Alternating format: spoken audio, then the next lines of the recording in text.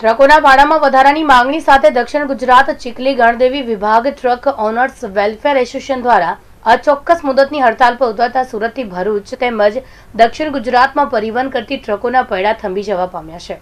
Petrol ડીઝલના ભાવ વધીને આસમાને પહોંચવા છતાં પણ ટ્રકોના ભાડામાં કોઈ વધારો ન થતાં દક્ષિણ ગુજરાત ચીખલી ગણદેવી વિભાગ ટ્રક ઓનર્સ વેલફેર એસોસિએશન દ્વારા ભાડામાં વધારો કરવાની માંગણી સાથે અચોક્કસ મુદતની હડતાલ પર ઉતરતા સુરત, હજીરા તથા ભરૂચ જીઆઈડીસી તેમજ નવસારી જિલ્લામાં ચાલતી ક્વારી ઉદ્યોગ સાથે જોડાયેલી એક હજાર જેટલી ટ્રકોના પૈડા થંભી જવા પામ્યા છે.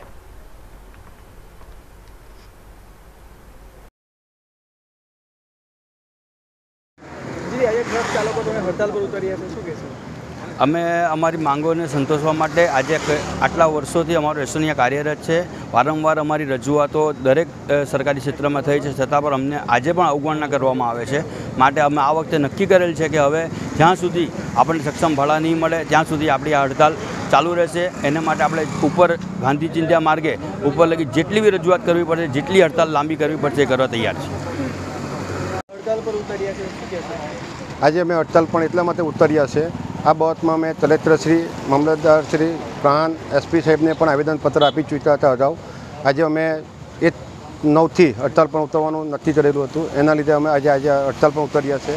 અમારા તરતના જે ભાડાઓ છે, એ ભાડાઓ ખૂબ ઓછા છે. જ્યારે રેટ અમારો ડીઝલનો સાહીઠ રૂપિયા ચાલતો હતો, એ જ રીતમાં આજે પણ અમે સો રૂપિયા ડીઝલનો રેટ થઈ ગયો છે. ત્યારે પણ અમારા એ જ ભાડાના છે.